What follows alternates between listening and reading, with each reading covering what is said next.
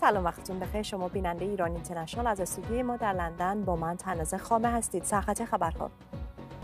گزارش مشتبه پور محسن از مهندسی سیاست خارجی مورد نظر خامنه ای در جریان انتخاب جانشین رئیسی. جلیلی و ظریف دو روی سکه سیاست خارجی تنش آفرین جمهوری اسلامی هستند. مخاطبان ایران اینترنشنال از عدم مشارکت در انتخابات می‌گویند. شهروندان در پیامهای خود می‌گویند قالب شهروندان نظام را قبول ندارند. تشدید حملات هوایی اسرائیل به مراکز حزب الله لبنان خانواده گروگانهای اسرائیلی در اختیار حماس با پلیس در تل‌آویو درگیر شدند. خوش آمدید. حضور پررنگ محمد جواد ظریف وزیر خارجه پیشین ایران در کمپین انتخاباتی مسعود پزشکیان در تقابل با سعید جلیلی نماینده خامنه‌ای در شورای عالی امنیت ملی به مسیری برای مهندسی سیاست خارجی جمهوری اسلامی تبدیل شده. در شرایطی که به نظر می‌رسد ظریف و جلیلی دو روی یک سکند. بالهای علی خامنه‌ای برای سیاست خارجی مطلوبش. مشابه پور محسن گزارش می‌دهد. دو روی سکه سیاست خارجی خامنه ای جدال سیاستمدار مفتخر به مالکشی برای رهبر نظام و مردی ایستاده در قبار جاه های دیکتاتور. اختلاف نظر عمیق یا دعوای زرگری دوبال خامنه ای برای کشاندن مردم پای صندوق های رای ظریف و جلیلی چه می‌گویند؟ دروغ می‌گویید اگر می‌گویید طرفدار شهید تنش در سخنرانی وزیر خارجه پیشین ایران در مسجدی در کاشان که به درگیری بین هواداران و مخالفان تفکر او منتهی شد. پرده تازه از فعالیت های انتخاباتی جواد ظریف به نفع مسعود پزشکیان نامزد اصلاح طلبان در انتخاباتی برای تعیین رئیس جمهور آینده نظام. همون که به صحنه آمده تا به نظر یک دوگانه با سعید جلیلی بسازد. نماینده خامنه ای در شورای عالی امنیت ملی. دوگانه ای که تنها امید دو طرف و یا به عبارت دقیقتر امید خامنه برای کشاندن مردم پای صندوق های رأی است. وقتی مردم با تحریم سه انتخابات اخیر حداقل مشروعیت باقی مانده صندوق رأی خامنه ای را زیر سوال بردند. حالا اما سیاست دوگانه های برساخته نظام بار دیگر زنده شده. تقابل هایی که در سالهای 88 92 و 96 بخش زیادی از مردم را متقاعد کرد برای مقابله با سیاست های خامنه ای به نامزدهایی رأی دهند که تصور می‌شد در مقابل او هستند. اگرچه دیری نگذشت که فاش شد دعوای حقوقدانها و سرهنگها و معجزه هزاره سوم و اصلاح طلبان بخشی از بازی نظام بوده. ظریف در دو هفته اخیر بارها تلاش کرده به مردم القا کند رأیشان تأثیری در آینده کشور دارد. او همان کسی است که گفته بود دستگاه دیپلماسی هیچ نقشی در سیاست های کشور ندارد. مردم چقدر از صفر تا صد سیاست خارجی جمهوری اسلامی در این هشت سال دست محمد جواد ظریف بود؟ چقدرش؟ می‌تونید بهمون بگید. صفر, تا صد. صفر. بله به خاطر در همه کشورها همینطوره. ظریف در طول هشت سال صدارتش بر وزارت خارجه چنان توجیهگر تصمیم های جنگ طلبانه خامنه ای بود که مایک پومپئو وزیر خارجه وقت آمریکا به او لقب مالکش اعظم داد. ظریف هم به این لقب افتخار می‌کرد. شما عنوانی که وزیر خارجه آمریکا به من داده رو و باعث افتخار بنده است شنیدید. حضور او در انتخابات اخیر برای جبهه موسوم به انقلاب هم کارکرد دارد. سعید جلیلی نامزد تراز این جریان در سیاست خارجی محسوب می شود. او چکیده تمام سیاست خارجی خامنه است. جدال با غرب و توهم درباره تاثیرگذاری بر جهان خودکفایی و اقتصاد مقاومتی امروز ما در عرصه سیاست خارجی فرصتهای بسیار فراوانی داریم. اما شرطش چیه؟ اینه که شما دنیا رو در سه چهار کشور خلاصه نکنید اینه که ما الان در یک مقطعی هستیم که تحولات جهانی در یک گذار هست که این گذار به نفع ماست. حالا با ورود ظریف جلیلی و دیگر نامزدهای جبهه انقلاب هواداران مردد یا مشتتشان را از جواد ظریف میترساند. جلیلی جز دبیری شورای عالی امنیت ملی هیچگاه مقام و منصب تاثیرگذاری نداشته. اگرچه سقطنامه تحریمی شورای امنیت محصول بیانیه خانی او در مذاکرات بود.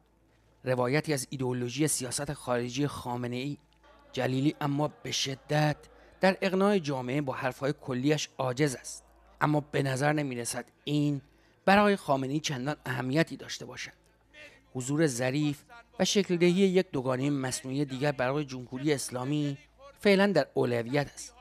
آژیر خطری که می‌تواند نیروهای وفادار به خامنه ای را در برابر خطر ضعیف پزشکیان متحد کند. اما از آن سو ظریف هم خطری برای نظام نیست.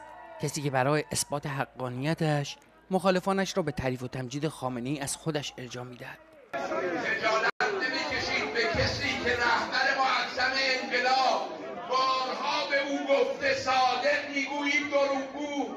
شرمتان باد تردیدی نیست که سعید جلیلی تجلی سیاست های جمهوری اسلامی و شخص خامنه ای در منطقه است. اولویت میدان بر دیپلماسی. اما به سختی بتوان باور کرد که ظریف خارج از این مجموعه تعریف می شود همون که به اطاعت از قاسم سلیمانی سفیر مرگ در خاورمیانه فخر می فروشد کسی که بعد از کشتار صدها نفر کف خیابان در آبان 98 و سرنگونی هواپیمای اوکراینی با پدافند سپاه پاسداران وظیفهش را رفع و رجوع می‌دانست. دنیا داره میگه موشک خورده به اگر واقعا موشک خورده بگین ما ببینیم چجوری می‌تونیم علاجش کنیم. تنز تلخی است که او حالا می‌خواهد مردم زخم خورده ایران را متقاعد کند که در انتخابات نمایشی نظام شرکت کند. وقتی جلیلی و ظریف چرخدنده های یک سیستمند. یکی لباس سیاست خارجی نظام را مطابق سلیقه خامنه‌ای میدوزد و آن دیگری در مواقع لزوم سوراخ‌های این لباس را رفو می‌کند. اینها رو اگر می‌خواید به مردم رو با عدد سرشون رو شیره بمالیم درست بمالیم. دو روی یک سکه دوگانه ساختگی برای تکرار و تکرار فریب مردم به نفع خامنه‌ای مشتبه پور محسن لندن. نازنین بنیادی فعال سیاسی ایرانی آمریکایی اجازه دولت بایدن به جمهوری اسلامی برای راه اندازی مراکز اخذ رأی انتخاب انتخابات ریاست جمهوری در خاک آمریکا را مزهک خواند. در پستی که این فعال سیاسی در شبکه اکس منتشر کرده آمده مفهوم انتخابات آزاد و منصفانه در جمهوری اسلامی مغالط است. بنیادی اضافه کرده در حالی که مخالفان جمهوری اسلامی در حال گسترش گفتمان تحریم انتخابات هستند آمریکا بدون هیچ توجیهی به برگزاری چنین رأیگیری مزهکی مجوز می‌دهد. سپید رشنو فعال مخالف حجاب اجباری با انتشار یک استوری در اینستاگرام نسبت به انتخابات ریاست جمهوری واکنش نشان داد. او در این پیام نوشت برای ایران و مردمانش هیچ فردایی با جمهوری اسلامی وجود ندارد با هر مترسکی همچنان گلوله ها در تفنگ است. سپید رشنو اضافه کرد تغییر همیشه با اراده و مقاومت مردم همراه بوده و هست. ایران اینترنشنال از مخاطبان خود پرسیده آیا در جایی که آنها زندگی می کنند تمایلی برای مشارکت عمومی در انتخابات دیده می شود؟ مخاطبان با ارسال پیام های صوتی و تصویری برآوردشان این بوده که مشارکت در این انتخابات بسیار اندک خواهد بود. سلام خدمت برنامه خوب ایران اینترنشنال و ملت عزیز ایران. هموطن گرامی در این دوران که این همه ظلم و فقر و فلاکت بر مملکت ما حادث شده و این رژیم آخوندی از هیچ ظلمی بر ملت ما دریغ نکرده و همه جوره فقر فلاکت را بر این مملکت حادث آورده. واقعا از همه شما درخواست می‌کنم که به شعور انسانی خودتون احترام بذارین و این انتخابات را تحریم کنین. وقتی یک کاندیدا با سراحت کامل اعلام می‌کنه که به خط قرمزش رهبریه بسم الله بره رأیش هم از همون رهبریش بگیره. درود بر شما و برنامه های خوبتون. و حالا نگاهی کنیم به چند خبر کوتاه از ایران.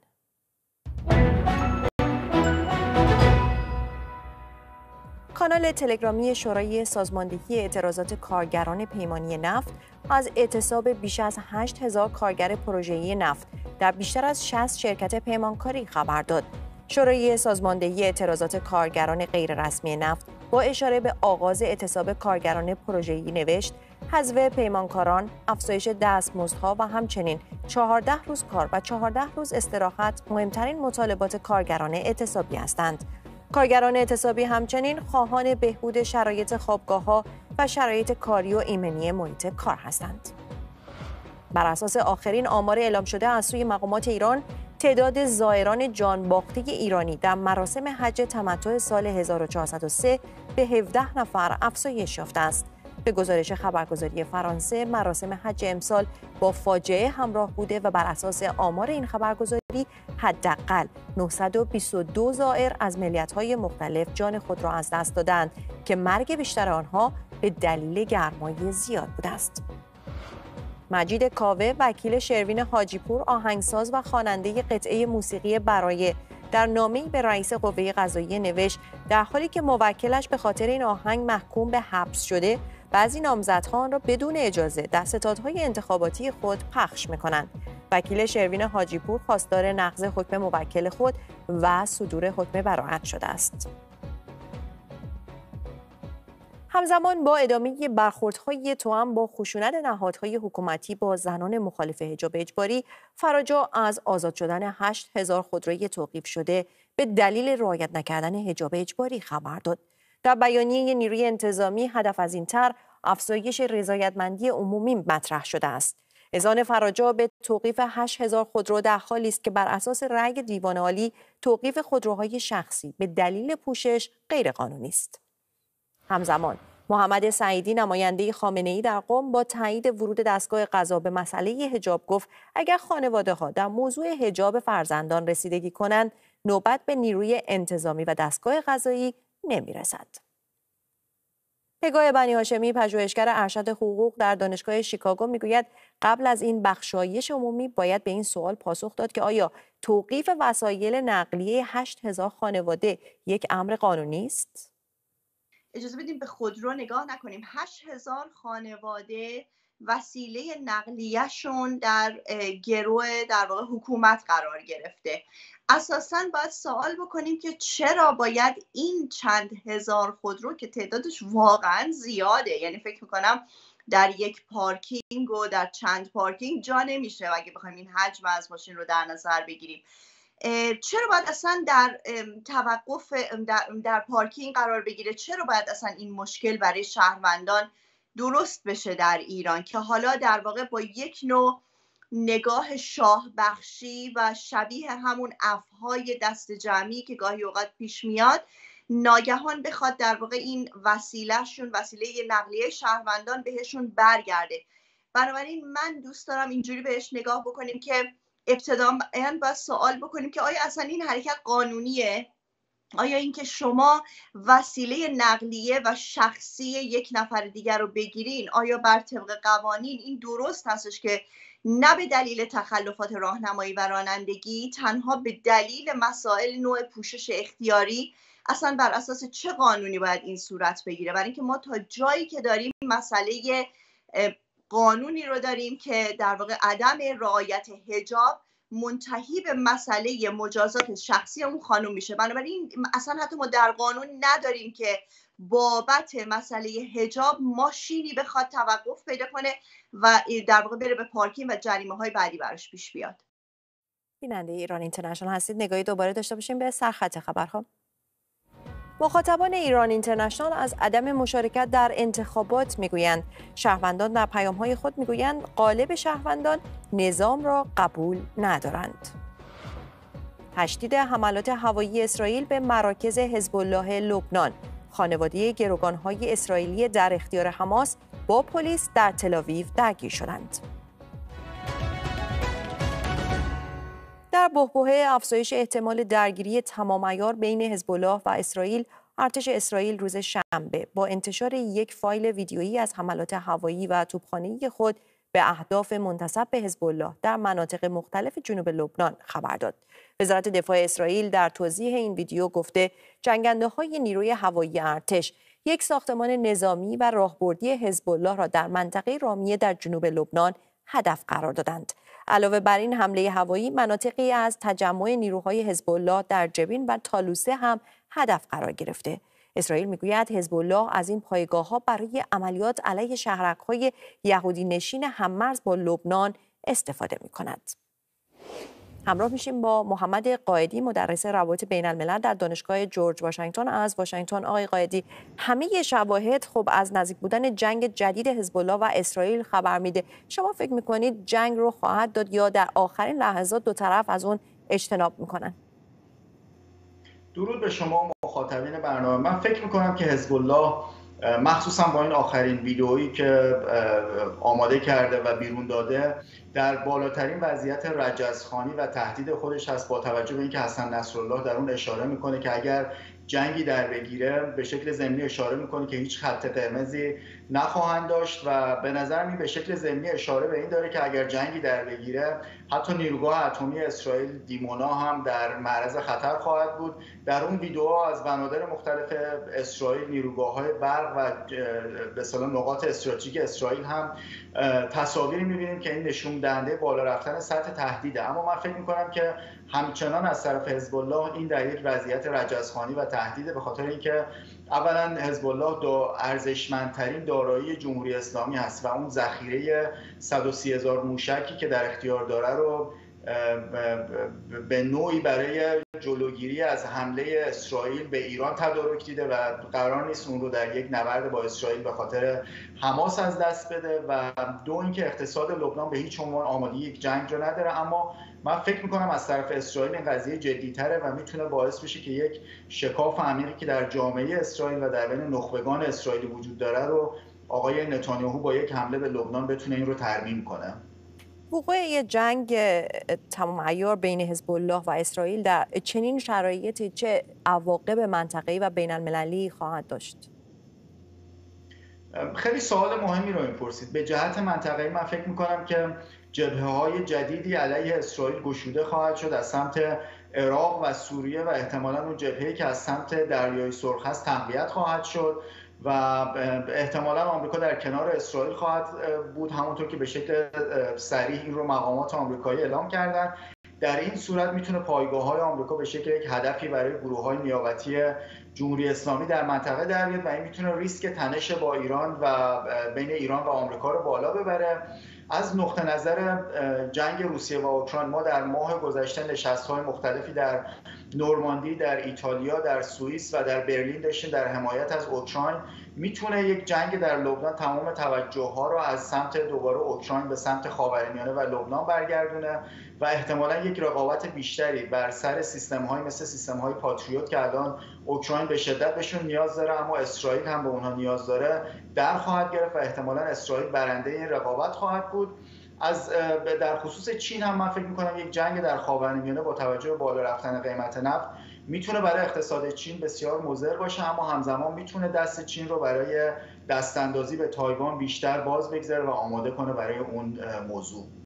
متشکرم از توضیحات شما محمد قایدی مدرس روابط بین الملل در دانشگاه جورج واشنگتن.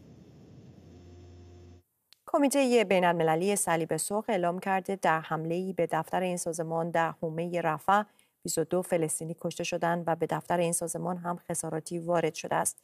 این سازمان بین المللی از حمله های مشابه در روزهای اخیر خبر داده و چنین اقداماتی که جان شهروندان و امدادگران را به خطر میاندازد محکوم کرده. در بیانیه صلیب سرخ مشخص نیست که کدام گروه عامل حمله به اردوگاه آوارگان است.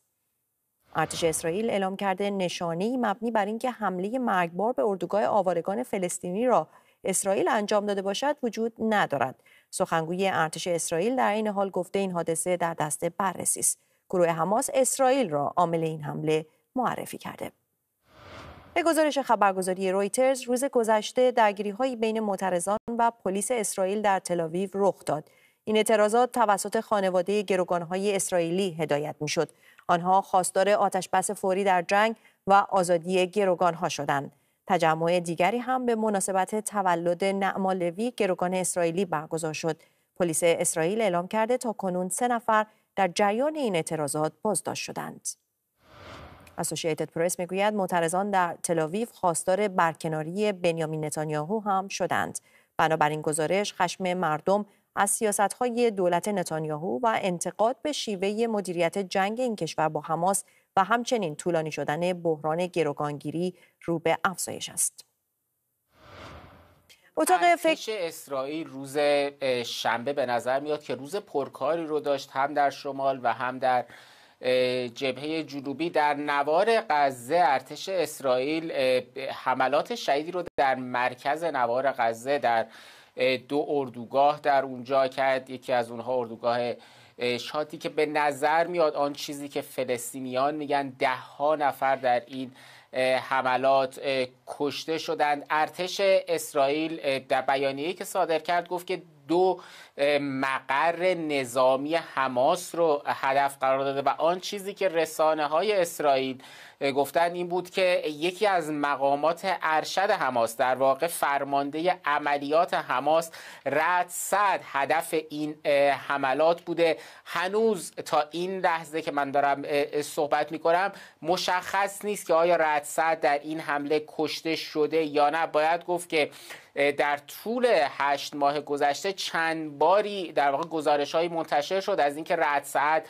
بازداشت شده یا اینکه کشته شده اما بعدا مشخص شد که او جان سالم به در برده زنده و آزاد هست. از اون طرف در جبهه شمالی در مرز با لبنان هم ارتش اسرائیل هم حملات توپخانه ای و هوایی رو داشت در جنوب لبنان. و هم در یک حمله هدفمند در منطقه بقای غربی که 40 45 کیلومتر با مرز اسرائیل فاصله داره یکی از فرماندهان یا رهبران گروه جماعت اسلامی رو هدف قرار داد و کش فردی به اسم ایمن هاشم قطمه که به نظر میاد که در واقع اون چیزی که ارتش اسرائیل گفته یکی از تأمین کنندگان اصلی تسلیحات برای جماعت اسلامی و حماس دو گروه در هم تنیده در جنوب لبنان بوده و در واقع علاوه بر این ارتش اسرائیل میگه که او در واقع همین ایمن هاشم یکی از افرادی هم بوده که حملات بسیاری رو به اسرائیل برنامه ریزی کرده و یا اینکه قصد داشته در آینده اونها رو برنامه ریزی کنه و انجام بده. اتاق فکر ایرانیان کانادا و انجمن ایرانیان آنتاریو در محل شهرداری شهر بری در اقدامی نمادین پرچم شیر و ایران را برافراشتند. این اقدام در همراهی با خانواده های قربانیان تروریسم و زنده نگه داشتن یاد کسانی است که توسط جمهوری اسلامی کشته شدند. محسا مرتضوی از محل برگزاری این مراسم گزارش می‌دهند.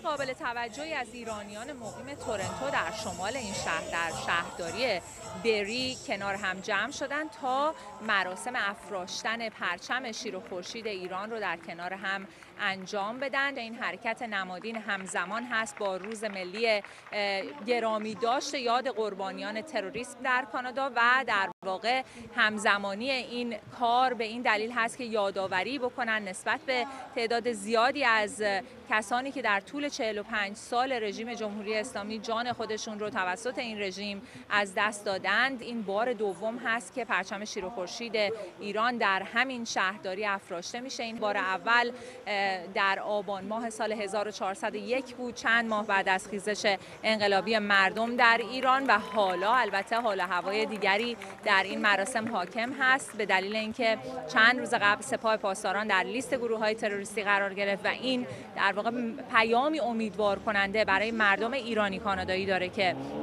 با تکرار خواسته هاشون می‌تونن دولت کانادا رو نسبت به مسائل ایران آگاه نگه دارند. ببینید وقتی که پرچم شیر و خورشید میاد برافراشته میشه توی جای رسمی. این یه کمی در واقع به چشم همه نشون میده که ما یه نمادی داریم که با این نماد می‌تونیم متحد باشیم. این نماد حالا در دست ما فعلا پرچمه. این پرچم می‌تونه بعدا برافراشته بشه داخل ایران. ولی الان اون چیزیه که ما رو با هم متحد می‌کنه. در میان شرکت کنندگان در این مراسم مایکل پارسا و گلدی قمری نماینده های پارلمان استان آنتاریو حضور داشتن در کنار شهردار شهر بری که همه یادآوری کردند که اتحاد می‌تونه کمک بکنه تا این رژیم در واقع تغییر بکنه در ایران و مردم به آزادی که مستحق اون هستند برسند الان بیشتر دولت ها مردم های بیرون ایران به جنایت های ایران و رژیم ایران آشناتر شدن. و به خاطر همین از این ما هر چقدر با هم نزدیکتر میشیم ایناست که رژیم ایران رو میترسونه. برای اینکه می‌دونن اینا هر چقدر ما با هم باشیم روز رژیم ایران کمتر رو نزدیکتر میشیم محسا مرتضوی بری شمال تورنتو. در پایان بخش خبری تصاویری ببینیم از رقص و پایکوبی هواداران تیم‌های ملی فوتبال پرتغال و ترکیه در خیابان‌های شهر دورتموند محل برگزاری بازی‌های گروه اف جام ملت‌های اروپا.